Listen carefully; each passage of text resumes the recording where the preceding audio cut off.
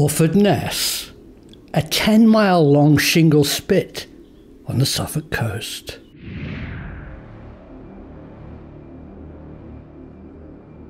One of the most extraordinary places in Britain.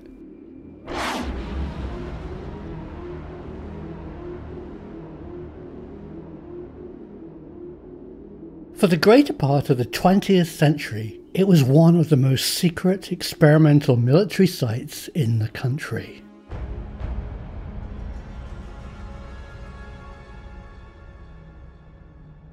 Here, armed guards, not commonplace in Britain, discouraged outside interest.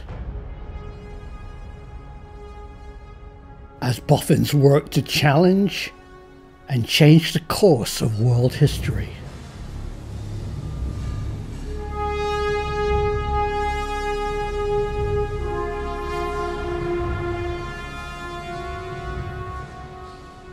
Today, you can still see the specialist buildings, unique structures that were built to experiment, test, and conceal the truth.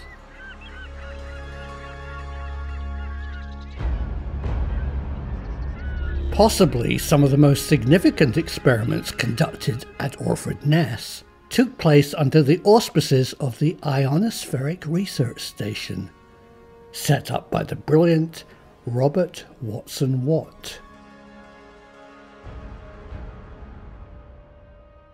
At a committee meeting of the Scientific Study of Air Defence, it was suggested to Watson Watt that a Nikola Tesla idea called the death ray might be developed to stop enemy aircraft. It is commonly believed that this was a radio energy beam that could eliminate aircraft by frying them. But my research has found it's more likely to be an EM pulse device that disrupted electrical circuits possibly over a great distance.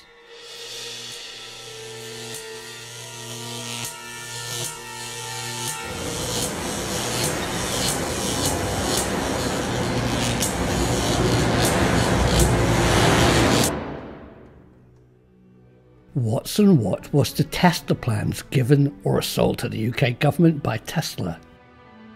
He chose the clandestine site, Orford Ness. After bothering a hapless flock of Suffolk sheep, he rejected the death ray as impractical. Due to enormous energy transmission demands and the shortcomings of the technology available at the time.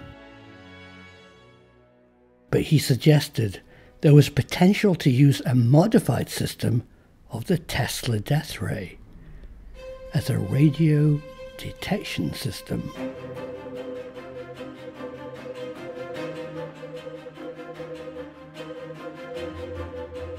The Ionospheric Research Station was built as a cover for the development of radio detection systems that briefly became RDF, Radio Direction Finding, and we now know today radar, radio detection and ranging. The world's first ever purpose built radar masts were installed at Orford Ness in 1935 built by Harland and Wolff of Belfast.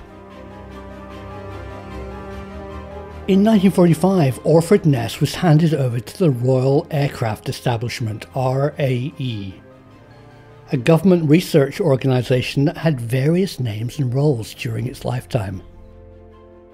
In 1953, the Atomic Weapons Research Establishment, AWRE, moved in and appears to have had exclusive control of this site.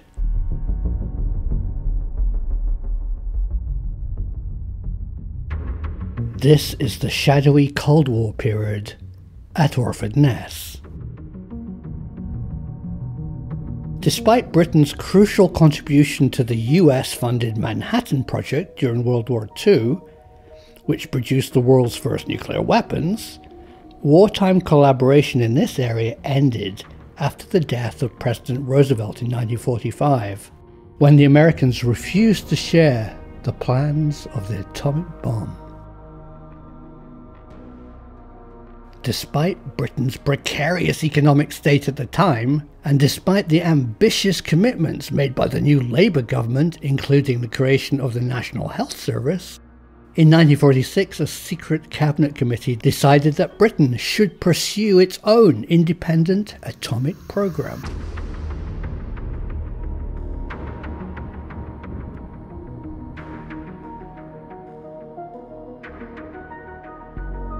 The earliest research took place here in North Wales under the codename Tube Alloys. Their job was to figure out the chemistry of uranium enrichment.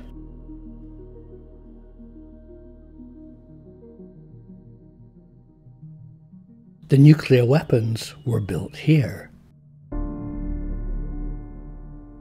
at a place known by its workers as the Bomb Factory in the small village of Aldermaston.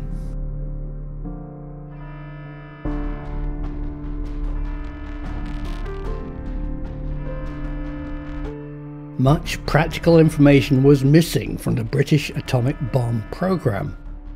They needed to develop, build, and test their own focused implosion explosives and fashion an atom bomb casing that could be safely dropped from a British V bomber.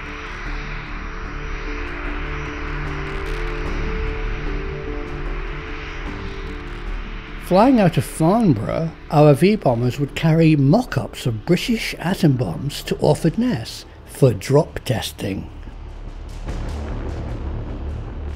there were inevitably a few accidents.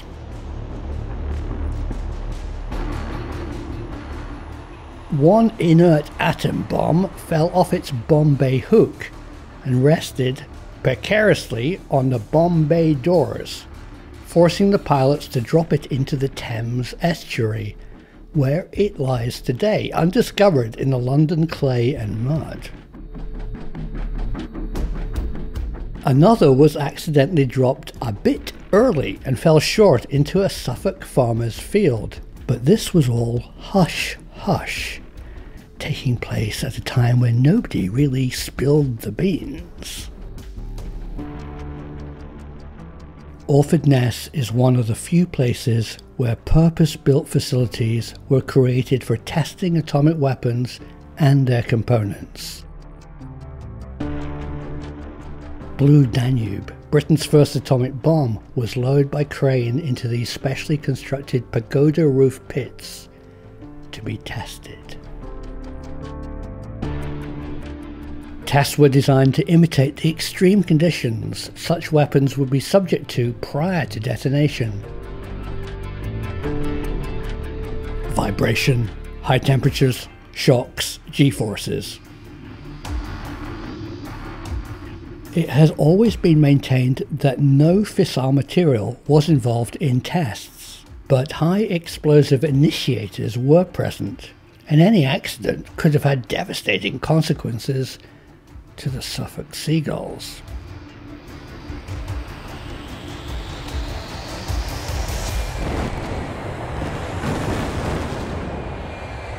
Against the odds, Britain's first atomic bomb was successfully detonated on the 3rd of October 1952. In the Montebello Islands off the northwest coast of Australia,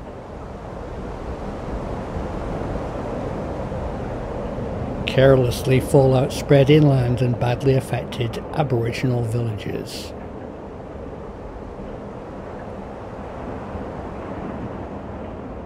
As the Cold War got rather hot, Orford Ness was found to be ideally suited for advanced radar testing. Isolated, secret, and, most importantly, facing Eastern Europe.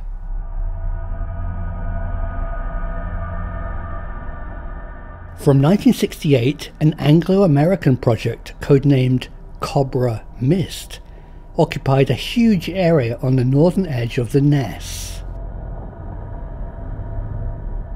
This involved a top secret over the horizon OTH backscatter radar system called 441 Alpha.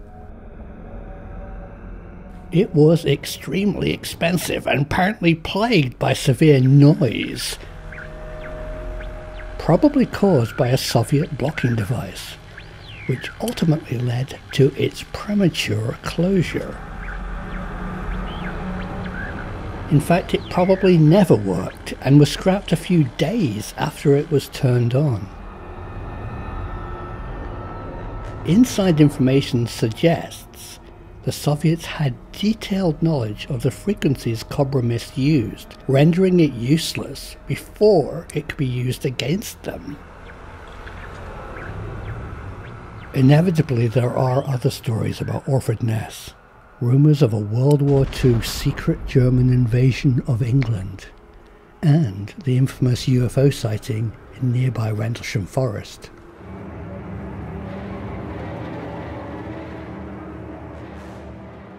I was told by an unnamed Orford radio technician the location of this UFO sighting is perfectly aligned with the high power Cobra Mist radar beam which often cause strange electrical discharges in the form of glowing lights on local houses' TV aerials. Other countries have developed successful over the horizon radar. Here is a short film from the French radar station and a good explanation of how the system works.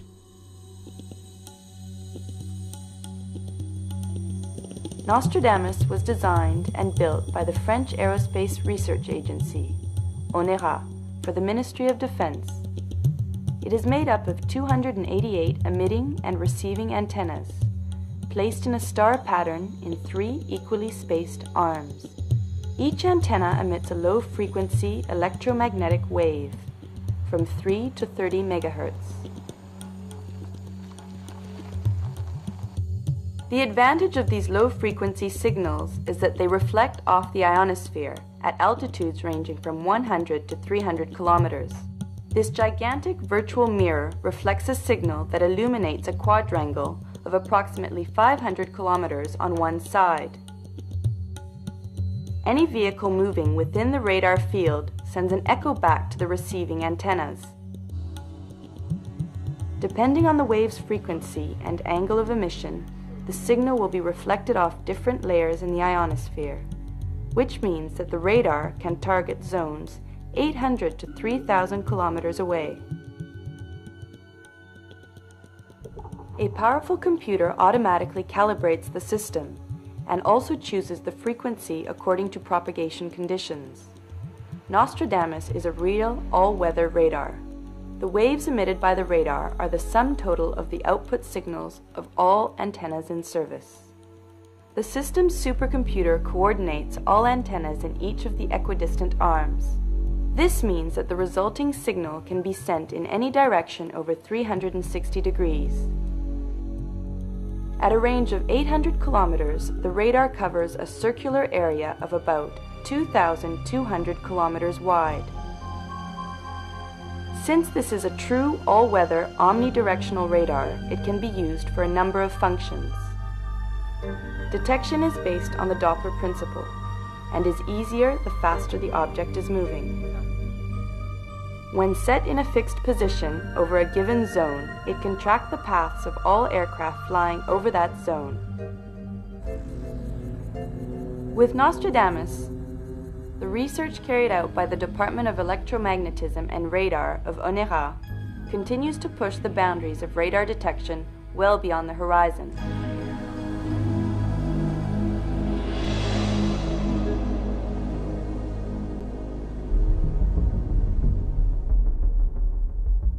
Today, visitors can walk on the Orford Shingle Beach Nature Reserve. there are scarce hints to its illustrious past. But buried under the stones are dark secrets of a hidden history.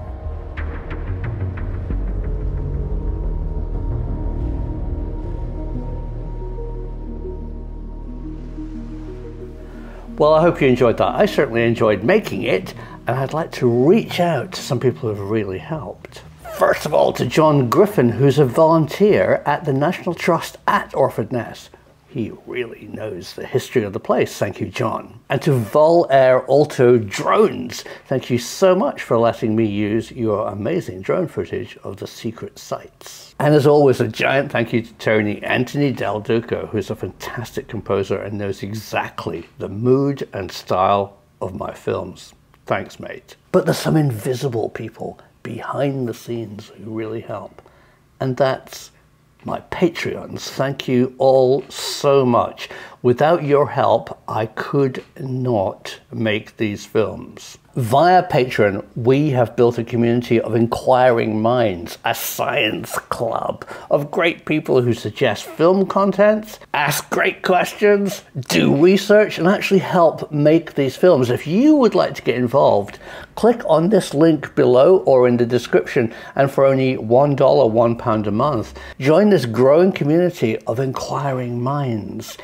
Everybody has a skill from their past, their career, or their interest that can contribute to make fabulous films for YouTube. And here's just a small selection of names of patrons who have really helped. Thank you so much.